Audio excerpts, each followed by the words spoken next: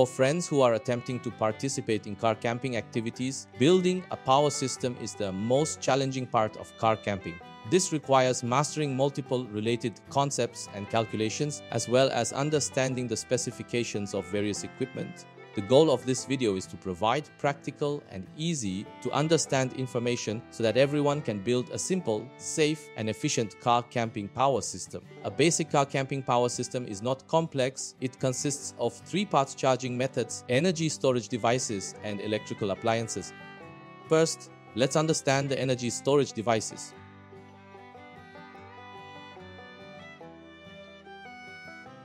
Unlike the large power grid, which only has options like dams for energy storage, there are many choices for small-scale direct current energy storage devices ranging from small to large capacities and various materials. Below, we will introduce battery storage devices for storing DC electricity based on their types, capacities, and voltages.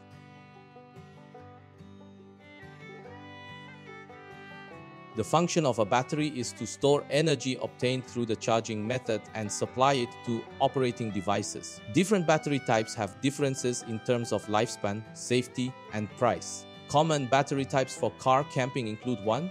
Lead acid and AGM batteries currently one of the most widely used types of batteries. They have the advantage of being low cost, but they are heavy and have a short lifespan. Additionally, it is not recommended to discharge lead acid batteries below 50% of their capacity as it significantly reduces their lifespan. Two lithium-ion batteries, currently one of the advanced battery technologies, they have the advantages of high energy density and lightweight. However, they are expensive and contain flammable materials, so safety precautions must be taken when using them. 3. Lithium iron phosphate batteries a high-performance lithium-ion battery with high energy density, low internal resistance, and a long lifespan. Compared to lithium-ion batteries, it has good thermal stability and chemical stability, making it safer. Each battery type has its own advantages. However, considering the excellent performance of lithium iron phosphate batteries E and the impact of recent advancements in battery technology and decreasing prices, Many car campers have chosen to use lithium iron phosphate batteries as their car camping battery packs. Many batteries in the market sometimes have suspicions of misleading or deceiving consumers in terms of energy capacity labeling. The following situations often occur. 1. Confusion, intentionally using milliampere hour to display large numbers we must understand the conversion of battery energy capacity to avoid being misled. For example, a lithium-ion battery labeled as 10,000 mAh hour is equivalent to 10 ampere hours. Then, multiplied by the battery's voltage of 3.7 volts and multiplied by 0.01, we get the common energy unit 0.037 kilowatt hours. We can see that the actual usable energy is not much. 2 incorrect labeling adding the ampere, hour or milliampere hour values of cells connected in series. For example, if four 3.2 volt 100 ampere hour batteries are connected in series, the correct labeling should be 12 volts and 100 ampere hour. However, it might be mistakenly labeled as 12 volts and 400 ampere hour. Both ampere, hour and milliampere hour are units for expressing charge capacity and must be multiplied by voltage to represent the battery's available energy capacity. For example, for batteries labeled with the same 100 ampere hour, a 12.8 volt battery would have an energy capacity of 1280 watt hours, while a 25.6 volt battery would have an energy capacity of 2560 watt hours, which is twice as much. Watt hour directly represents energy and provides a more intuitive understanding of the battery's available energy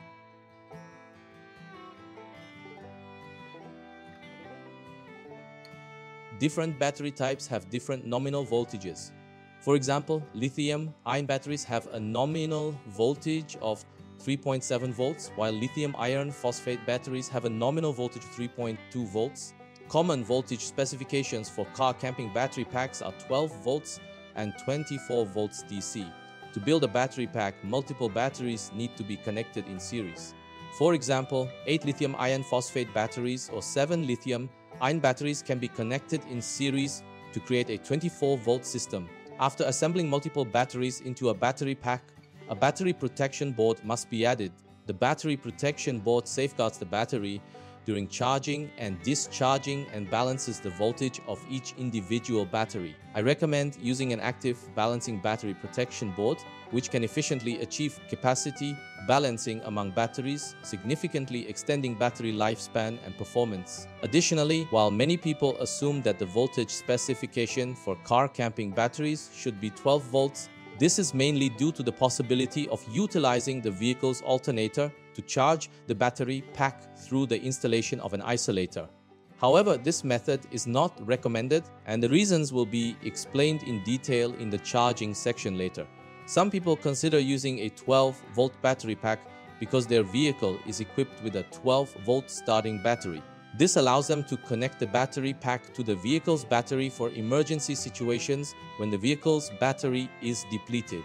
However, situations where the vehicle battery is completely dead are not very common, and it is now easy to find compact emergency power sources on the market, so I do not recommend this approach. Some people believe that 12 volt appliances are more common in vehicles, so they choose a 12 volt battery pack. We will create another video to explain whether 12 volt or 24 volt appliances are more practical. Another important fact is that when using devices with the same power rating, a 24 volt system only requires half the current compared to a 12 volt system. This means that a 24 volt system does not require larger wire gauge, providing a significant advantage in terms of wiring layout. I strongly recommend using a 24 volt battery pack to establish the power system as it can achieve higher output power with lower setup costs. Once the energy storage device in the system is determined, the next step is to carefully select the electrical appliances for car camping. To avoid excessive battery consumption or overloading the electrical system, it is important to consider the power requirements that match the capacity of the energy storage device when choosing electrical appliances for car camping. Therefore, the first step is to select suitable appliances and calculate their power consumption. Initially, some people may consider using household appliances directly. However, household appliances are designed to operate on 110 volts or 220 volts AC power.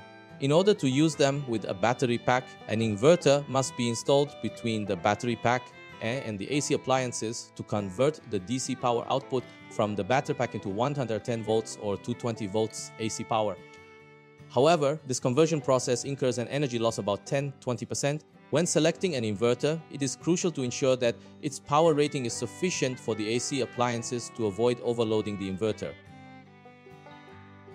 It is also important to note that inverters require proper ventilation space. Installing an inverter takes up limited space inside the vehicle and the noise generated by the cooling fan can disrupt daily activities. Another major issue is the high starting current required by inductive load type AC appliances such as air conditioners, microwaves, and induction cooktops.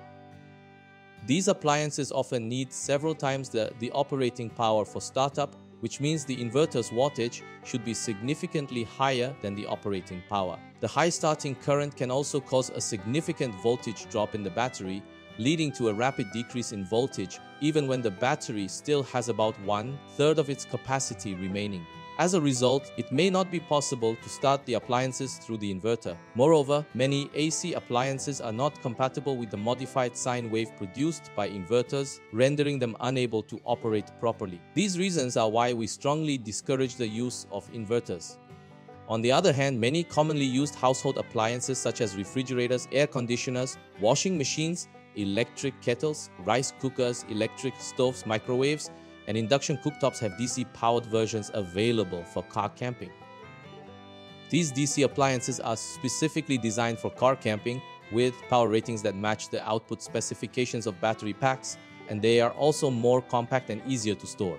Therefore, I recommend purchasing DC powered appliances specifically designed for car camping instead of using household appliances directly on the vehicle and adding an additional inverter. To estimate the power consumption, the first step is to understand the energy usage of each device. The power rating, measured in watts, is usually indicated on the device or in the user manual. Multiply the power rating by the duration of use to calculate the energy consumption of each device. For example, if, if an air purifier has a power rating of 60 watts and is used for 24 hours a day,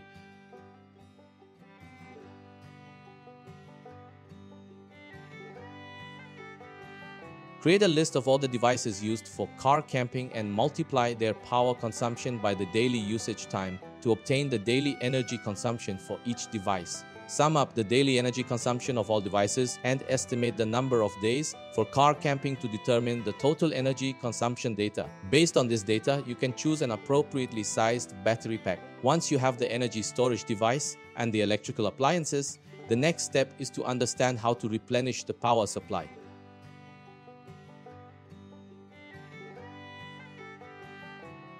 There are three main ways to charge the battery system in a van conversion for camping using household power, connecting the battery to the vehicle's electrical system, and utilizing solar power, I would recommend using both household power and solar power to charge the battery system while avoiding the option of connecting to the vehicle's electrical system.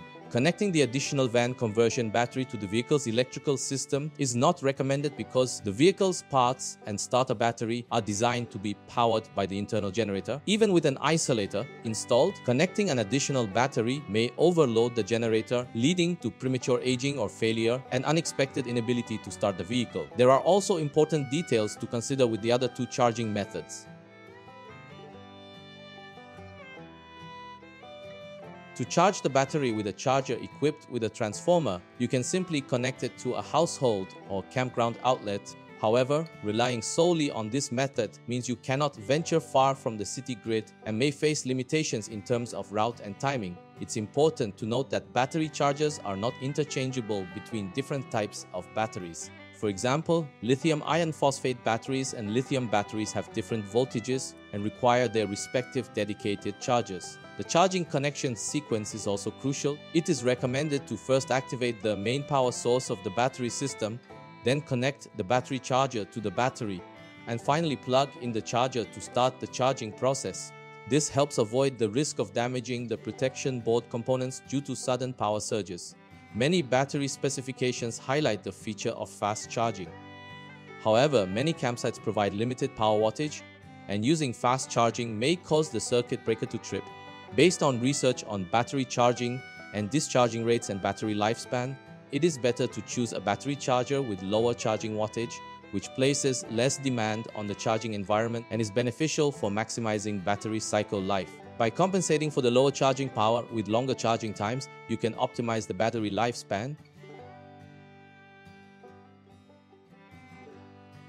Among the free sources of electricity generation, wind power, hydropower, and solar power are available, with solar power being the most efficient. A solar energy storage system mainly consists of solar panels, a PWM as MPPT solar charge controller, and the battery system. The efficiency of solar panels varies depending on their structure and materials. Common solar panels for van conversions include the most efficient monocrystalline silicon panels, polycrystalline silicon panels, and flexible thin film panels. Regardless of the type of solar panel used, it's important to calculate the power requirement.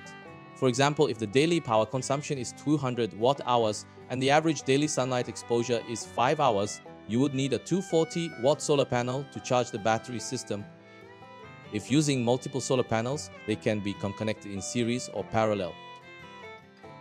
Finally, the key component is the solar charge controller, which serves as the control center of the solar charging system and comes in two types PWM and MPPT. Compared to PWM controllers, MPPT controllers offer excellent efficiency. They continuously track and adjust the voltage of the solar panel to generate maximum power and regulate the voltage and current generated by the solar panel to match the charging specifications of the battery system. MPPT controllers are critical for maximizing the efficiency of the solar charging system. These are the various charging methods for a van conversion explained.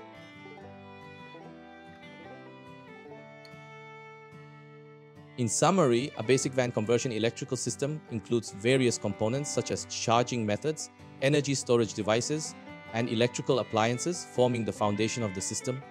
Depending on each person's camping style and duration, the specific items and costs within the system may vary. I have chosen a 24 volt DC electrical system and utilize various DC appliances which allows me to simultaneously run multiple appliances efficiently.